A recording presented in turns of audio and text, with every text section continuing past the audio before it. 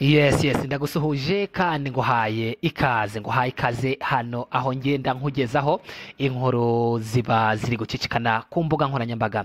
Ni ibitangazamakuru bigiye bitandukanye bigenda bigaruka kuri izi nkuru ndetse n'abatari bake bagenda nabo batanga ibitekerezo bigiye bitandukanye kuri izi nkuru ngenda nkugezaho. Reka nkugezeho inkuru y'aka kanya aho nkugezaho inkuru yatangaje abatari bake cyangwa se eh, yababaje abatari bakeya by'umwihariko ku muryango w'uyu mugabo Eh, ni umugabo witwa rashidi rashidi ni umugabo wamenyekanye ku mbuga nkoranyambaga hano mu gihugu cyacu cy'u rwanda aho yagiye atanga ibitekerezo bye bigiye bitandukanye ku miyoboro ya youtube zigiye zitandukana. Muri buka youtube yitwa rashidi tv cyangwa se eh, ni channel imwe yitwa rashidi yari uyu mugabo witwa hakuzimana. Rashidi eh, wagiye utanga ibitekerezo bigiye bitandukanye. Muri aka kanya amakuru atugeraho aravuga ko urukiko rwamaze gukatira uyu mugabo witwa hakuzimana rashidi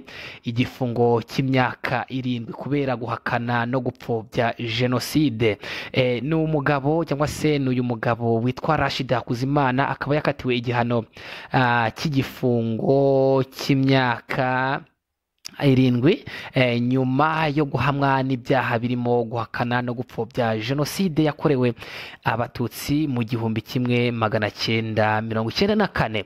Eh, rashid hakuzimana yafunzwe muri bibiri na makumyabiri na rimwe eh, yamenyekanye cyane kubera ibiganiro bye bitavugwa bitavugwagaho rumwe yanyuzaga kuri youtube bitajyanye n'umurongo uhamye igihugu cyihaye mu rubanza rwe rwa rashidi hakuzimana Imana agiye yanga kwiregura ku birego yarezwe avuga ko akwiye kurekurwa kuko ari umunyapolitike uvuga ibitagenda. Mu isomwa ryanza Rashid Hakuzimana ntiyari mu cyumba cy'urukiko ndetse no ku mashusho y'ikoranabuhanga yahuzaga urukiko na gereza y'amageragere aho afungiye naho ntiyahabonekaga. Kuri uyu wa kabiri urugereko rw'urukiko rukuru rukorera mu mujyi wa nyanza rwamuhamije ibyo byaha byose. Umucamanza yavuze ko isuzuma ry'urukiko ryasanze ari ibyaha yakoreye ku mbuga za youtube harimo n'urwe. Urukiko ruvuga ko imvugo yagiye akoresha mu biganiro yakoreraga kuri youtube zigiye eh, zigize ibyo byaha. Muri izo mvugo harimo aho avuga ko kwibuka bikwiye kuvaho. Ibi bikaba bigize icyaha cyo gupfobya jenoside.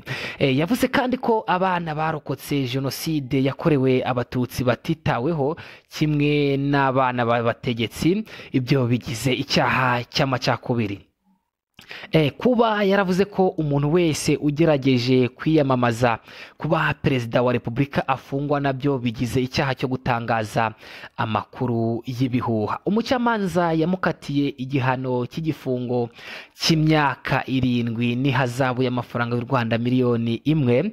Hakuzimana abuduru rashidi yazaga mu rukiko ntawamwunganiraga eh, ntawumwunganira afite nyuma yo gutandukana n'uwamwunganiraga mbere gato y'uko urubanza rwe mu mizi rutangira. Eh, mu rubanza mu mizi hakuzimana rashidi ntiyigeze yeregura kuri ibyo byaha yarezwe mu kwezi kwa cyenda uyu mwaka ubwo byari biteganyijwe ko atangira kwiregura yanze kugira icyo avuga kuri ibyo byaha.